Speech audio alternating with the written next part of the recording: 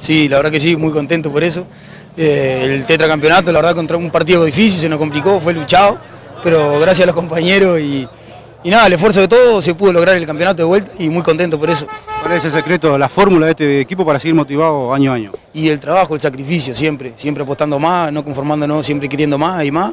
Y nada, y el trabajo, trabajo en equipo y el grupo. Contame de ese hecho que se te vio allí entregándole el brazalete a Joaquín Ríos.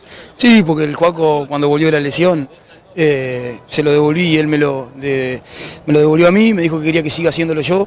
Y, y bueno, y lo menos que podía tener hoy era que de tocárselo a él para que levante la copa. Porque la verdad que ha luchado mucho con la lesión y ha sido un ejemplo. Y bueno, en, la- en lo futbolístico se demostró que a pesar de haber estado tanto tiempo parado por la lesión, no se notaba. Me metió como un caballo y, y fue, creo que fue el eje del equipo. Momento de dedicaciones, Chanita. Y nada, a la familia que siempre está, por supuesto, a los amigos, a los compañeros que todas las prácticas estamos metiendo y por supuesto la hinchada, que creo que es lo más lindo que tiene Juventud, es la gente y la hinchada, que esto es para ellos.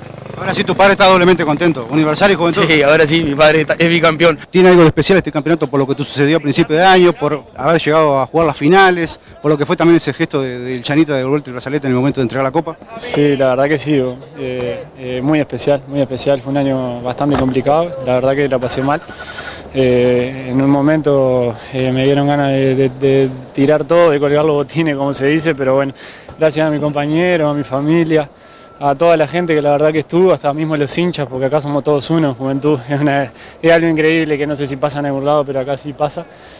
Pero bueno, en definitiva, gracias a todos ellos fue que pude cerrar este año de una manera soñada, que la verdad que eh, tuve que entrar a, dar una mano y tuve la suerte de terminar jugando los partidos más importantes del año. Joaquín, decime, ¿a quién le dedicás este tetracampeonato? Y a mi familia principalmente, a mi novia, que estuvo siempre conmigo en los momentos más difíciles, como te dije, eh, a mis compañeros por bancarme, por estar siempre conmigo andando para adelante, a la gente. Y bueno, nada, al hincha de juventud también, que, que es lo más grande que hay.